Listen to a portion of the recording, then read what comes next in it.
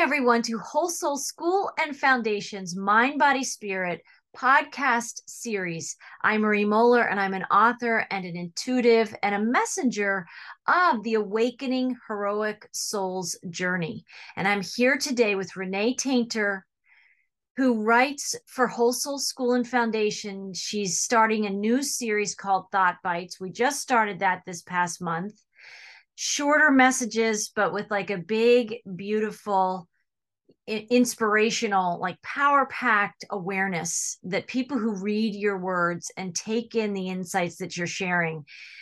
I think it's just, it's these thought bites can be life changing. That's all we need is little doses to redirect our energy and our attention and where we're putting our focus because where our energy flows right creation grows. Like that's what happens. Where our energy goes that's what's manifesting. And so you so brilliantly have been writing for us for whole soul school and foundation for some time I would invite our listeners to go to our website because that's where you can see Renee's writings. And we want to expand on some of those thought bites into what we're calling Renee had this idea of little podcast bites, or let's even just call them pod bites, right? Just little thought bites, pod bites for people to tune into.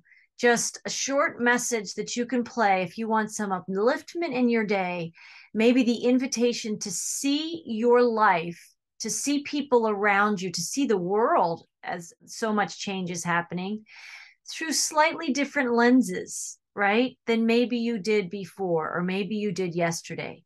We want to invite people into this higher awareness. And your most recent post, Renee, the question that you posed really was what do you see in humanity? Right. And that really calls into question or for some self reflection how do we look at humanity? And I want to ask you to expand a little bit more about that. But in what you were writing, you reflected on the movie character Pollyanna. And it's a movie we were both trying to remember when it was actually made. It looks, I found at least that there was a film made in 1960, Pollyanna but that the main character, and why don't you take this, Renee? The main character teaches us. Yeah. I was really young when I saw it. And I was really impacted by that. So Pollyanna is a young girl who uh, she just automatically looks for the good in people. And I think she started that when she got a necklace from her parents who, you know, were were deceased. And that's why she ended up going to live with Aunt Polly. So, and they called her Pollyanna. But the necklace said on one side, it said, if you look for the good in people, you'll find it. On the other side of the necklace, it said, if you look for the bad in people, you'll find it. Well, that really had an impact on me. And I didn't realize, but I was, you know, looking for how I was looking at people. Right. And it, you know, and now we can say as adults and stuff that when you do look for the good in people, you kind of bring that out in them because there's no judgment and there's no, and you're seeing the good and then you feel good and they feel good. And so it's, it's about how you go through your daily life and the people that you meet in the post office, in the market, in the parking lot, at the DMV, you know, Right. I mean, exactly. It's in everyday experiences. We have like a bajillion opportunities to either look for the bad in people. And what do we engage when we're doing that? We're engaging the mind, right? And the mind judges, right? The mind either wants to accept, allow, embrace. That's really the heart, actually. But the, the mind is trying to decide do I kick this out do I judge it? Do I allow it in? Like it's going through this process as its gears are ticking. And you know, there there is there's a choice point. There's a point of choice, right? A fork in the road, right? Am I going to look for the good in this person? Or am I going to look for the bad in this person? And most people don't do this consciously. We already are, right. we grow up in a world that teaches us how to make these kinds of judgments, right? We learn by copying people. we learn by oh well if my mom was always upset like this then you know maybe you never heard why but it's kind of an automatic response so it when you start looking for the good in people you you realize that it changes your perception and your um, your readiness to look for the good in someone. And you and then you know you may not know the difference between responding from reacting from your mind or responding from your heart. But your heart really is that place where you're going to see the good in people. You know and and so when you're lens it's a whole different lens isn't it the heart that yes the ability to see the good in people? And and i think it's important to know that uh why it's such a easier way to live to look for the good in people than look for the bad in people is because most of the time you're not with a person in the post office more than a couple minutes or in line at the supermarket. And if you're just um, going oh wow that's really a cute shirt i mean blah blah or whatever you start these conversations and you're you're looking for something. I mean it's you don't after a while you don't really have to look you just see it. Because i think once you start start this pattern like pollyanna did in the movie right. it didn't matter what she heard about a person. Right. she she she just found a way by kind of sitting with that person or being present with them and realizing she called it she called it the glad game Oh, that's right. Remember the glad game where I'm it, glad this happened because right? I had forgotten about that, Marie. And so that's looking for the good in the situation. Like when she broke her leg in the right. Movie. Exactly. This happened because, and I can't remember what she said, but um it's right? she was teaching people even then seeding this awareness that our perceptions are so powerful.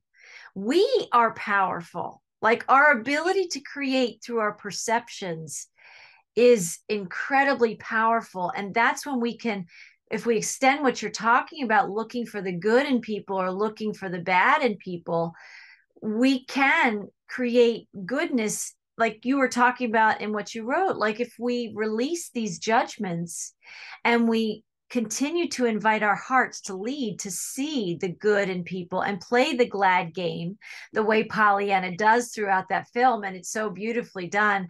You know she moves into this town orphaned her parents had passed and lives with her aunt Polly right?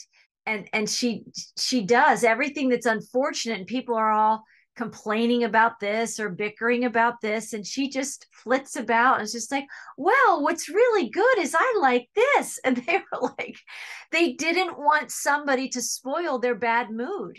In the movie they even got irritated with her like oh pollyanna you know why do you always have to look for the you know everything to be so good all the time?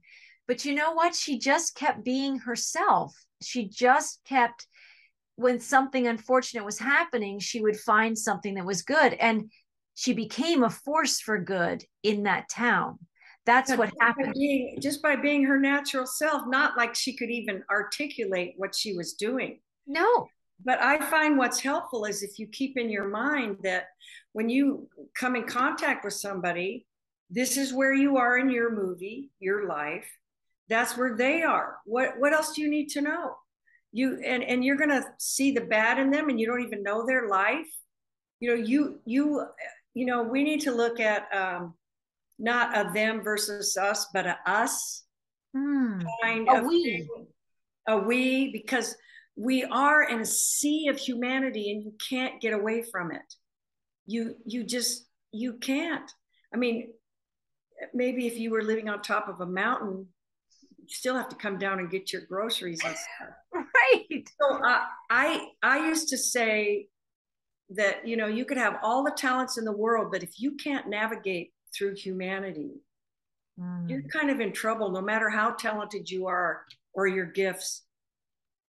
I feel like that one of the best things you could do is learn how to navigate through humanity in a loving, kind way. But you've got to navigate in yourself before you can do that. Look and see where those judgments come from and why. And is it important? You know i used to work with a lady. She was just incredible um, jane. And uh, she someone would go well she's such a and you know call her out or gossip about her. And jane would always say stuff like you never know what's happening in her life.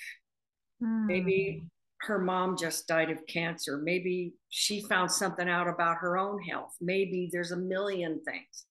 So we're in the sea of humanity and everybody's going through stuff. And so I think that if you can look for the good in humanity and realize they are your family. And I know in one of the uh, sentences I put in that blog was, um, we'd be in a in a bad way if God didn't see the good in us. Really? You know, so if God sees the good in us.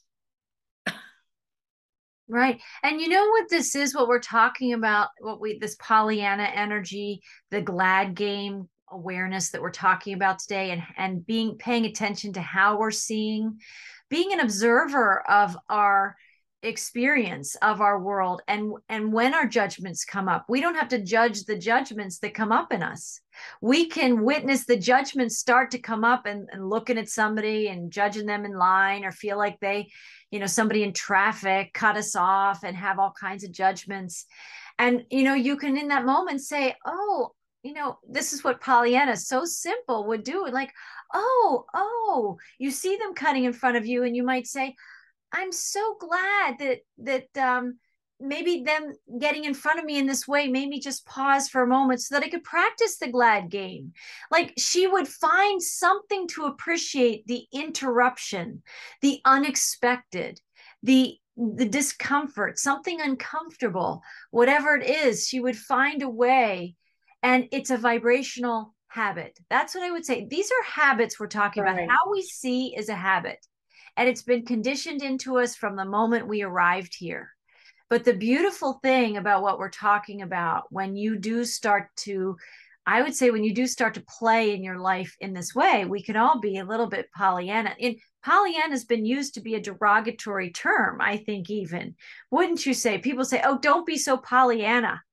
Well, I, I never heard that in the the, a negative, eh, but uh, lately, if I bring that up, people go, "Who's Pollyanna?" So that's been a few years, right? You know, uh, uh, I always thought of it as a person that was always trying to get along and try to trying to do the right thing, but even in the film though you can see when she's in when she embodies that energy of the glad game and looking for the good in people in the very beginning of the film people i invite people to go watch it right? To to to get it and watch it they are irritated because her higher energy, her higher vibration, if you will, it interferes. It It's, uncomfortable. It's interfering with their sour mood. Right. Makes them uncomfortable. It makes them uncomfortable.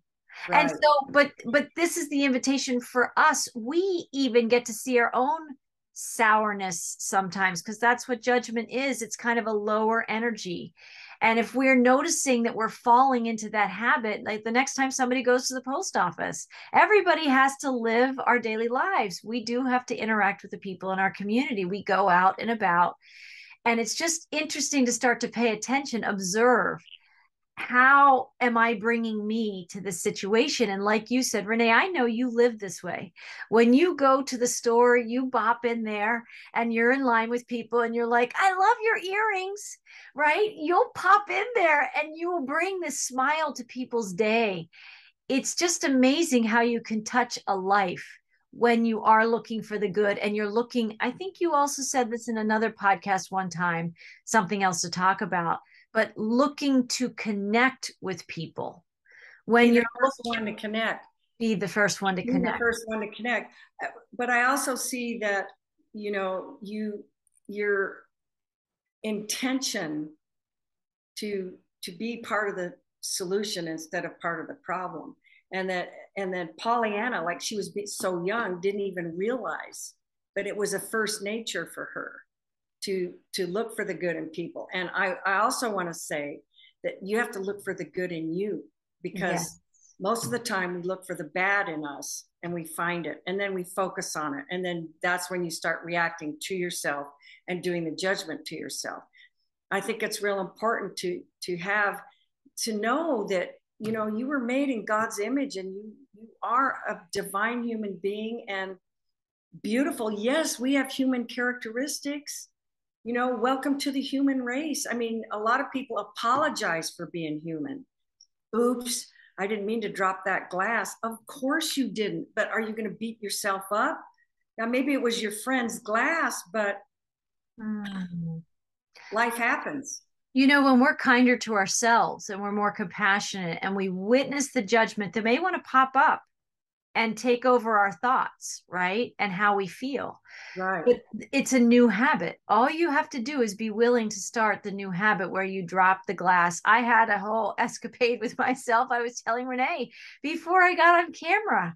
I had a whole glass of like greens, you know, stirred up in a glass, and it was really green, I can assure people. And I turned and I was doing something maybe for one of my animals. And when I turned, I tilted my glass, oops. and the contents, oops, went out on like a cream area rug. And I was like, right. And all I could do was like, wow, that happened. And and then you just say, you know what? This is going to invite me to be more conscious in my day. And in the glad game way, I kind of felt like, you know, it gives me an opportunity to wash that rug, which I've actually needed to do anyway. So thank you, Greens, you know, gracing my rug today. Right. Well, I think that, you know, to maybe cap this off is the big thing is accept your humanity, mm. accept mine you know you're not the lone ranger. Everybody's experienced stuff feeling silly feeling stupid feeling whatever. Accept your humanity. Accept mine. Accept everybody's. And that's a there it is renee. Accept your humanity. Accept their divinity. That's another step. Right First that's accepting their humanity. another day for another, another day. right? But so, then I do believe when we when we find these new vibrational habits to look for the good in ourselves, we practice here first. It gets easier and it is it can be a conscious intention. I am going to look for the good in like the next two people that I see today. It's just a little process, but you start a new habit and you will be amazed at what you do ultimately see in the sea of humanity as you start to flip your attraction and your um, how you're choosing to see people right. and how you orient your day. It really is life changing, and it's these small little choices we make every day. Yeah. So we could say to you all that we accept your humanity. We right. accept you. If if you ever find yourself around us, we are definitely looking for the good in you. Right, Marie? Right. Well said. Thank you, Renee. Well, thank you. Your people can read this particular post from Renee on our website at wholesoulschoolandfoundation.org and look for more of these thought bites, these pod bites coming in short little doses that you'll be able to hear in your if you like to listen by audio podcast you can tune in by spotify apple itunes on your favorite streaming programs.